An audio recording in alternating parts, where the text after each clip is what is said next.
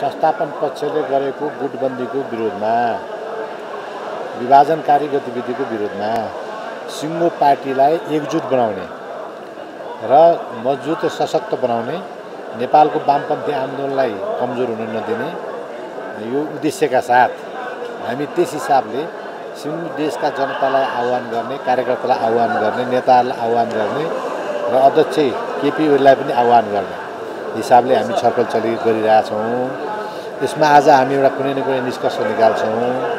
र त्यसले वामपन्थी आन्दोलनलाई युनिफाइड गर्ने कुरामा हाम्रो जोड रहनेछ।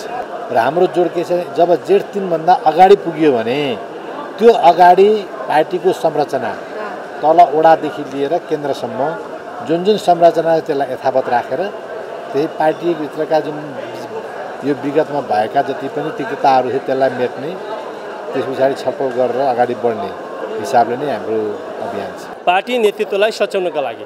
जो उहाँ मनपरी ढङ्गले एकलौटी ढङ्गले स्वेच्छाचार ढङ्गले अगाडि बढिरहनु भएको छ बल मिचाइपूर्ण ढङ्गले अगाडि बढिरहनु भएको छ अहङ्कारपूर्ण ढङ्गले अगाडि बढिरहनु भएको छ उहाँलाई सच्याउनका लागि उहाँले गरेका हिजोका अन्त्येष्टि जे जे गल्तीहरू छन् अनि ती गल्तीलाई कति पनि रि के अरे महसुस नगरेर अझै अन्त्येष्टि एकपछि अर्को अन्त्येष्टि गल्ती गर्ने अझै सम्भावना छ।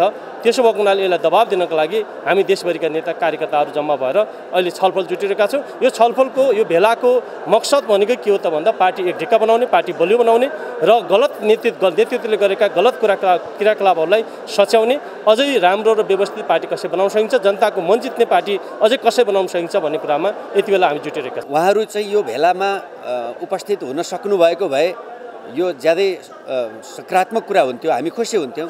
तर विडम्बना के भयो भने म केन्द्रीय कमिटीको सदस्य हुँ। तर पार्टीको अध्यक्ष महासचिवले बोलाएको केन्द्रीय कमिटी हामी केन्द्रीय कमिटीका सदस्यहरूलाई थाहै नदिइकन सार्वजनिक रूपले चाहिँ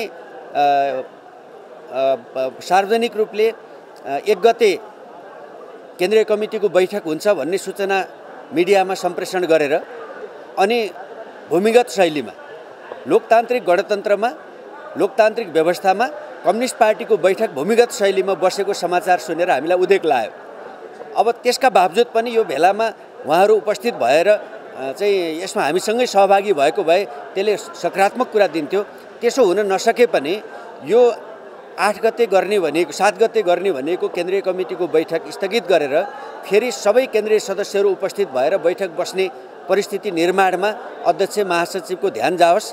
त्यो मुलुकको लागि जनताको लागि र सिङ्गो कम्युनिस्ट आन्दोलनका लागि योगदान हुनेछ म उहाँहरूलाई सुझाव दिन चाहन्छु। केपी शर्मा ओलीले चाहिँ आज सायद यो दलको बैठक नराखेको भए उहाँ ठिक हुन्थ्यो र उहाँलाई पनि यो कार्यक्रममा यो राष्ट्रिय भेलामा चाहिँ उहाँलाई पनि निमन्त्रणा उहाँ लगायत अरू थुप्रै नेताहरूलाई चाहिँ निमन्त्रणा छ र नेपाल राष्ट्रले मात्र होइन अन्तर्राष्ट्रले पनि नेकपा एमालेको नेता भनेर चिनिएको भनेको चाहिँ के अरे केपी शर्मा ओली माधव कुमार नेपाल झलनाथ खनाल भनेर नै यसरी नै चिनिरहेको नेताहरूलाई चाहिँ नेताहरू चाहिँ एक भएर नै हिँड्नुपर्छ भन्ने कुरालाई लिएर यो भेला हो भनेदेखि आजको बैठक चाहिँ संसदीय दलको बैठक राखिरहनुपर्छ भन्ने चाहिँ छैन। यसमा चाहिँ अब नियतकै गडबडी देखिन्छ। एकदम गुड परस्तो मान्छे हो एक त। मैले त उहाँलाई स्टुडेन्ट कालदेखि चिन्दछु हेर्नुहोस् खडगप्रसाद ओलीजीलाई। उहाँ मसित हिँड्नुहुन्थ्यो। अनि के अरे भन्दाखेरि चाहिँ नि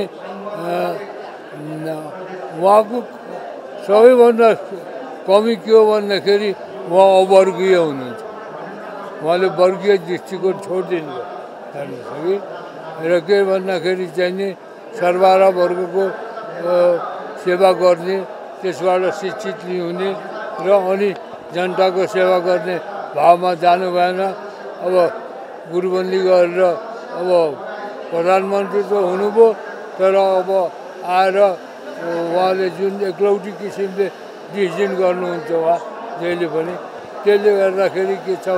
भन्दाखेरि उहाँले अब चाहिँ त्यो काम छोडेर एकता गर्नुभयो भन्दाखेरि हामी एकता गर्न सक्छौँ होइन?